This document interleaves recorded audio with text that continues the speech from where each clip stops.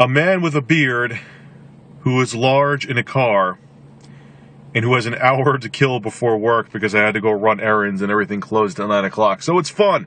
So I thought, let me discuss technology with you guys because you're all very sexy. Sexier than me. Um, so I was reading an article today. I was actually going to do a commentary video on it, but I ran out of time. Don't mind me keep rubbing my face. I'm, I'm tired. And it was Crytek talking about how Crysis 3 has maxed out the consoles. They said there's not even 1% left in the Xbox 360 and PS3. My thoughts on it are why the hell is there even a reason to make a video about that? Let's talk tech specs now. I had a list in front of me at my house when I thought I had time to make the video. I don't have it with me right now. The Xbox 360 processor aside, it's a little anemic when it comes to cache, but it's still a three-core processor with uh, it can handle two threads of code per core, so it can handle six sets of instruction at once. The graphics chip in it is a DirectX 9 graphics chip that's about over seven years old. I don't remember the exact name of it. Again, I had a list in front of me. The PS3 minus the cell processor, it's still somewhat powerful, even though it's another one that's anemic on the cache with the cache and the the memory and the processor. That has a graphics processor made by NVIDIA. Um, thinking right now. It, I don't know the exact specs of it, but I know when the PS3 was coming out, they said it was the equivalent of two NVIDIA GeForce uh, 6800 Ultras in SLI, and they were boasting about it back in 05. Again, approximately a seven year old chipset. I had concrete specs in front of me. I'm not in front of them right now. Now, I understand that consoles are dedicated machines. They're not like PCs. They're meant to do more than they're meant to just do one thing well, and that's game.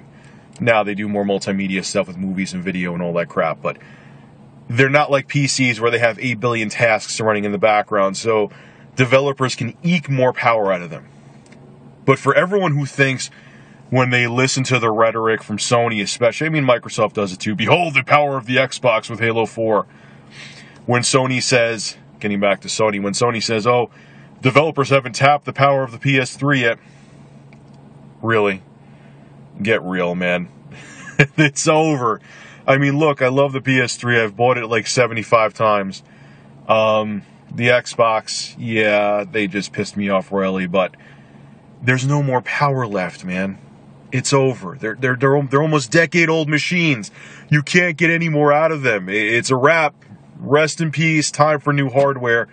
You know, it was funny even like a year ago. I was like, ah, there's there, you know, there's no need for new consoles. Now it's like when you look at games, especially multiplats, you could see the jaggies, you could see the pop in, you could see, you know, screen tearing, you could see when there's a lot of stuff going on. Like the developers, they have no more room. They're tapped out. They, they've tapped out the hardware probably two years ago. So it's time for new hardware. You know, and for everyone who's like shocked by the fact that like there was people, I was looking at the article, I saw it on N4G, um, and there's people that are like surprised, like, no, there's no, there's more power in the PS3 and the Xbox 360. I'm like, no, there isn't. It's over. Now, there was an interesting thing um, that I forgot the guy's name, the CEO of Crytek.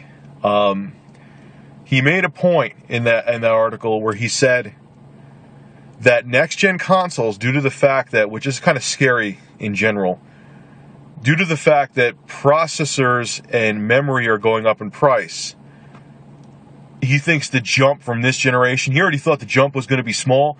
He thinks it's going to be even smaller from the current generation of consoles to the next generation. So that's pretty interesting. Um, and that kind of coincides with what I said in the past that I, I, just don't think the the leap from like the Wii U to the Xbox 720 and PS3 is going to be that huge. I, I just don't think it's going to be and that gives me even more evidence to feel that the P, the PS4 and 720 aren't going to be as big of a leap. They're going to have to do some other stuff, be innovative, and do other things besides just raw horsepower like they always did in the past. But Anyway, I'm going to shut up now. This is a five minute video. Um, my chin looks large because I have the camera at a weird angle. It's tough to hold, even when you have a front facing camera where you can see yourself. It's tough to hold it and, and look normal. I look like a crackhead right now. But anyway, Richard Review Tech USA. Um, hope you enjoyed my beard again. And leave your thoughts on this. Do you think that there is more power? Um, there is more they can push out of the old dated hardware of the PS4 and Xbox 720, or you're like in my camp now, or even a year ago I thought there was more they could get out of the systems, where now I think they can't. I just don't think there's anything else they could do with them. Leave your thoughts below. If you think I'm an idiot, let me know. If you agree with me, let me know. I'm going to sit here and finish my drink and do nothing for 45 minutes before I have to go into work. This is Rich Review Tech USA signing out. Have a good one.